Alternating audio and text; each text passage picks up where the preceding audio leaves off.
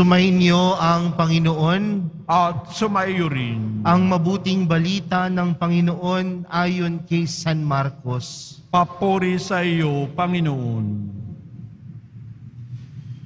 Noong panahong iyon, dumating ang ina at mga kapatid ni Jesus. Sila'y nasa labas ng bahay at ipinatawag siya. Noon na may maraming taong nakaupo sa palibot ni Jesus at may nagsabi sa kanya, Nariyan po sa labas ang inyong ina at mga kapatid. Ipinatatawag kayo.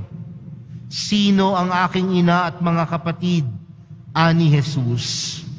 Tumingin siya sa mga nakaupo sa palibot niya at nagwika, Ito ang aking ina at mga kapatid sapagkat ang sinumang tumatalima sa kalooban ng Diyos ay siya kong ina at mga kapatid.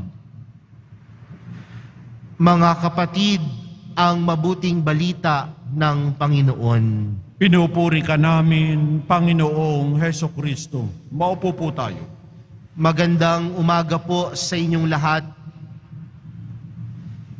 Kung napakinggan po natin ng maigi ang ating unang pagbasa, nagpapatungkol po ito sa paghahain ni Jesus ng kanyang buong sarili.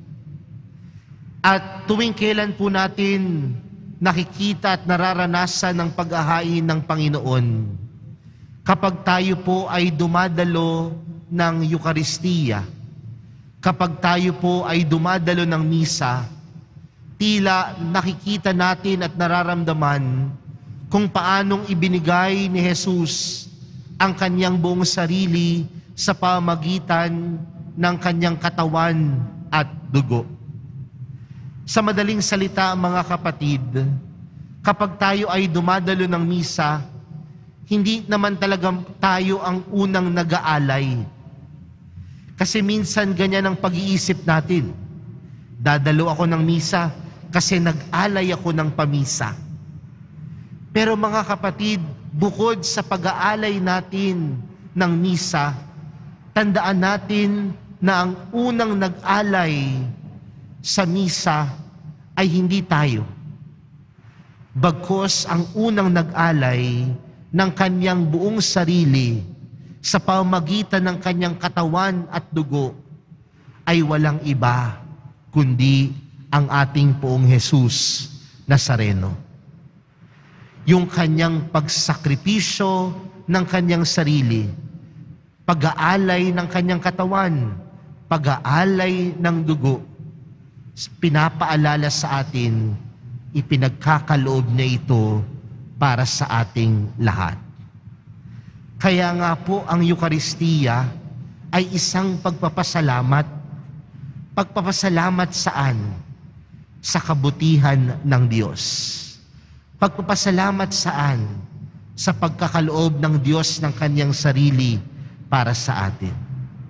Kaya mga kapatid, ngayong tayo ay dumadalo ng Eukaristiya, tayong dumadalo ng misa, dapat tayong patuloy na magpasalamat dahil meron tayong Diyos sa pamagitan ng poong Jesus Nazareno na nag-alay ng kanyang buong sarili.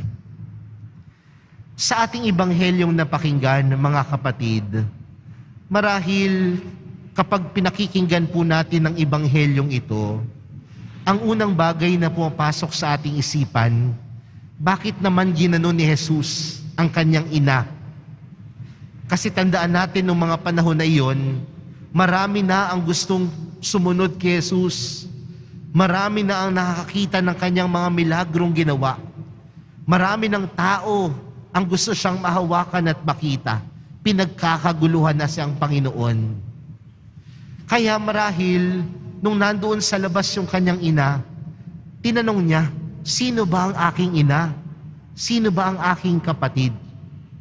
Hindi dahil ayaw niyang no, makita ang kanyang ina, bagkos pinapaintindi lang sa atin ng Panginoon na ang bawat isa sa atin ay mahalaga para sa Kanya.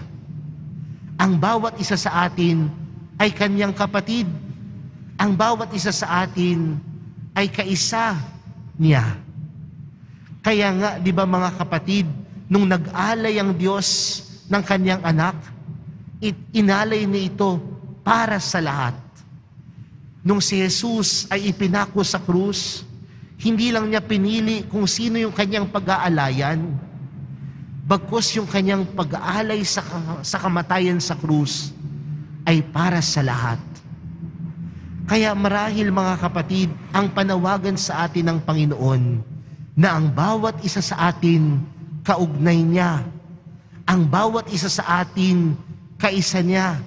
Ang bawat isa sa atin kapatid niya. Pero meron siyang binanggit sa ating ebanghelyo.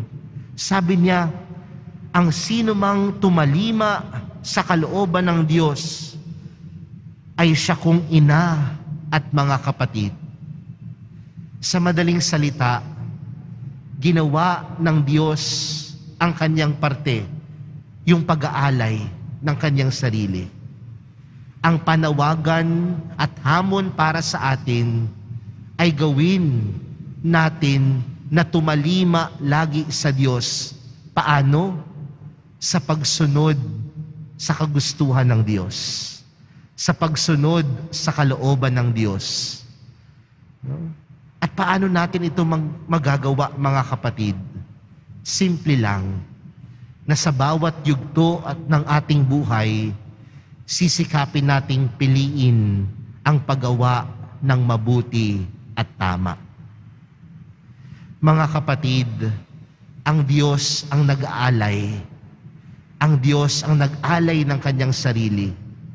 Nawa sa araw na ito, pinapaalala sa atin na tayo naman ang mag-alay sa Diyos. At ano ang pinakamagandang pag-aalay natin sa Diyos? Na ialay natin ang ating buong sarili na laging sundin ang kanyang kalooban, na laging gawin ang mabuti at tama sa lahat ng oras at pagkakataon. Sa pagpapatuloy po ng ating banal na misa para sa araw na ito, patuloy tayong magpasalamat sa Diyos. Ang Diyos na nag-alay ng kanyang buong sarili. At tayo nawa na patuloy na tumatanggap sa kabutihan ng Diyos ay patuloy ding tumalima at sumunod sa kanyang kalooban. Amen.